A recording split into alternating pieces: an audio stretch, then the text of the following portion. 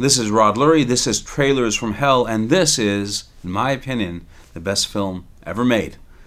It's a real honor to talk about it. All the President's Men. This is the trailer for the second release of All the President's Men, obviously exploiting the Academy Awards, uh, the eight of them that the film was nominated for, uh, which shockingly did not include, you're not seeing them listed here, uh, a Best Actor nomination for either Dustin Hoffman or for Robert Redford in what was probably the performance of his career.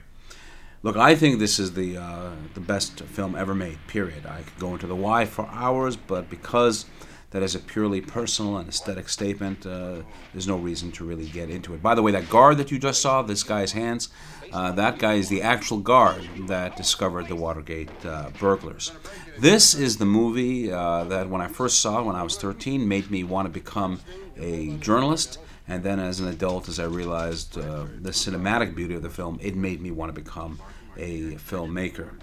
I think that what grabbed me the most about that movie was William Goldman's screenplay. Most movies are told in three acts, and, and so is this one.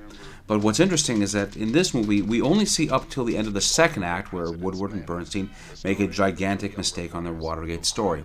But because we as an audience already knew uh, how the real story ended, in other words, we knew what the third act was, the filmmakers didn't need to show it. Robert Redford, who was the producer, and William Goldman had respect for the audience in that sense.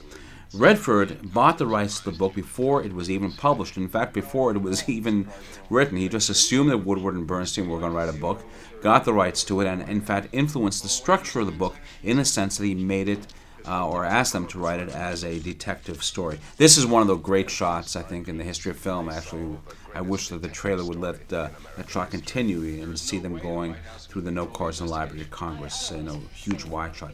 It's absolutely uh, beautiful sequence. The opening sequence of the film, which is a still white screen that is all of a sudden interrupted by the sights and the sounds of typewriter keys, was Robert Redford's uh, rather brilliant idea. Uh, in that sequence, the sounds of gunshots and whiplashes were put in in order to accentuate the notion that words themselves can be weapons. Everybody seems to love this film, and you know it's sort of influenced almost every movie that I personally uh, have made. And uh, you always get in trouble when you're influenced by other films because the comparisons, um, well, you almost never survive them. But that's okay because All the President's Men, it's the greatest.